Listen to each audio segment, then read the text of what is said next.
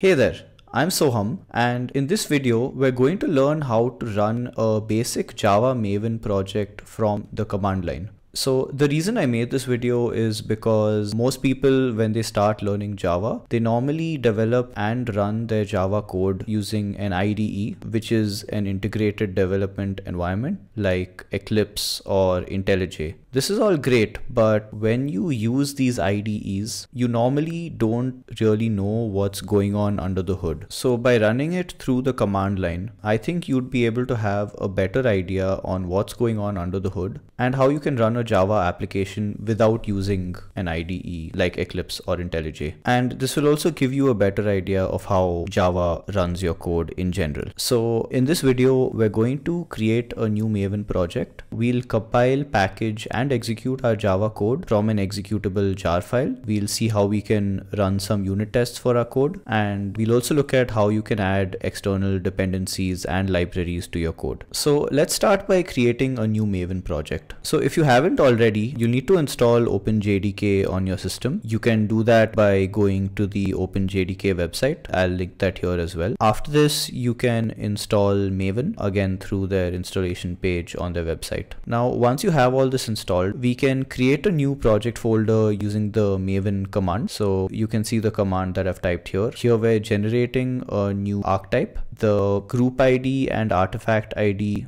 will basically represent the package name of our application. And the archetype artifact ID here will tell Maven what type of project you want to start with. So Maven archetype quick start is a predefined template and it's also the simplest one. So we can start with that. I've used a group ID corresponding to my website domain. You can replace this with your own choice. Now we can see that this will generate a new project folder and we can run this command to see the folder structure. So in our app.java file, we can add some simple code that just prints hello world when run. So this is how our code looks. And now let's look at how we can compile and package this code into a jar file. Now before running a Java application in production, we need to compile the Java code into bytecode that can be run on the JVM. If we have multiple classes and folders, which we most likely will, we have to package the compiled code into a common format. The most common format used for this purpose is a jar file.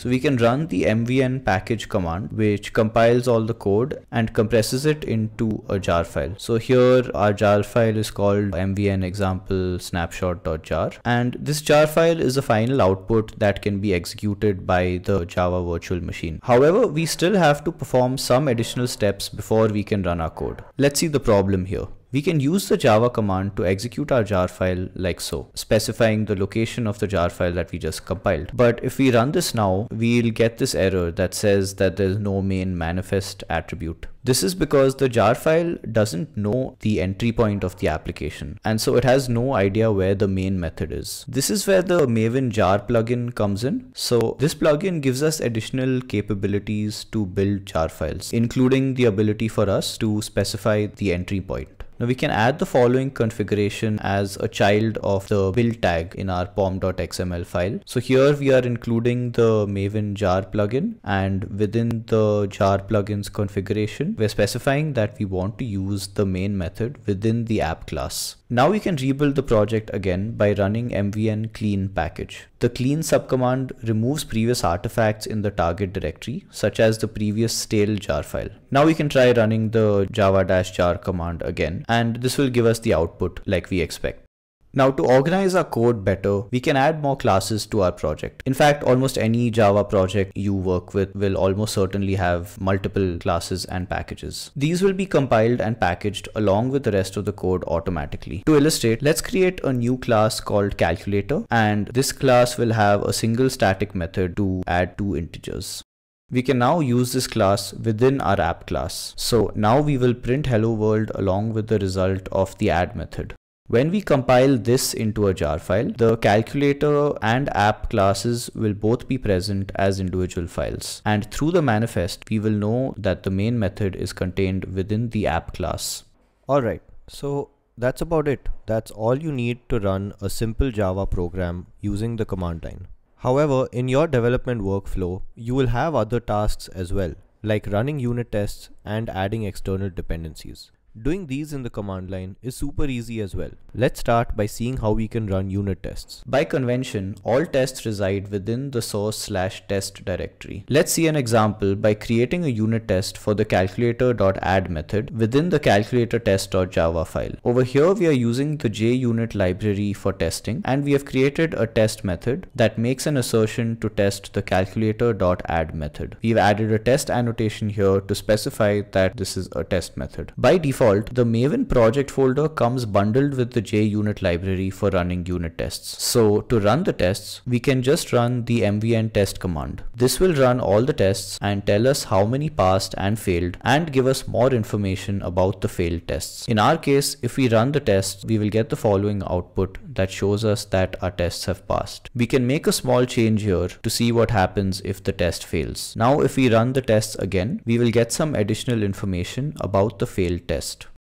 When we ran the mvn test command previously, we ran all the tests in the project. However, as our project grows, this quickly becomes unscalable. We can run a single test class or method by specifying the class name or method name as arguments to the mvn test command. For example, let's say we had another test class called fail test in the same test package. Now this class contains a single test which always fails. Now if we only want to run tests in the calculator test.java file and not in the fail test.java file, we can do this by specifying the class name as as an argument to the mvn test command. This will run all test methods within the calculator test class and ignore all other classes. We can do this at the method level as well. So let's say we add a new test method called should add negative values. Here we check that adding minus 1 to minus 1 gives us minus 2. If we only want to test this single method, we can specify that using the hash notation. Isolating tests in this way can be useful when debugging, since running all the tests all the time can be time consuming and make it harder to find the issue when a test fails. Now let's take a look at how to add external dependencies and libraries and package them within our jar file. Most applications need external libraries to implement common functionality. Maven allows us to install these dependencies by specifying them in our pom.xml file. For this example, let's install the cowsay library, which will display our output as a quote from a friendly cartoon figure of a cow on the terminal. First, we have to add cowsay as a dependency in our pom.xml file. You can get the exact group ID and artifact ID by searching for this library in any of the repositories. The most popular repository is Maven Central, where you can search for the libraries and their artifact IDs. Now we can import the cowsay class from the library and use the say method to get the string that we want to print. Now finally we can print the output string.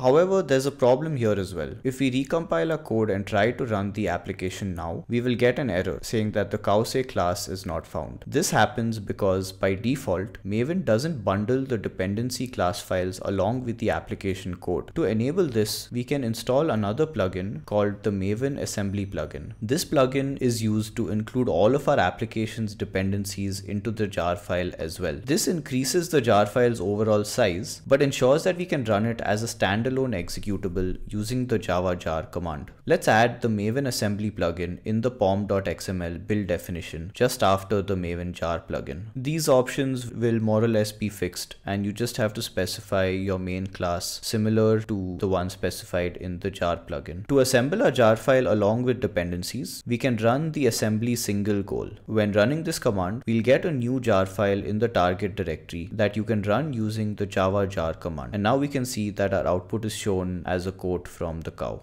So that about wraps it up for this video. We saw how we can create a new project from scratch, add some Java code of our own and package our code into a jar file. We also looked at how we can run unit tests and add external libraries to our project. For most cases, this should be enough to run your own production grade applications. And the best part is you can develop this using any text editor you want and not just using an IDE. Even if you do use an IDE, I feel like it's still useful useful to know how all of this runs on the command line. So you can get a better lower level understanding and more control over how your application is built and executed. For example, if you want to add some automation, you can now do so using the command line as well. I hope this was helpful. Thank you for watching and I'll see you next time.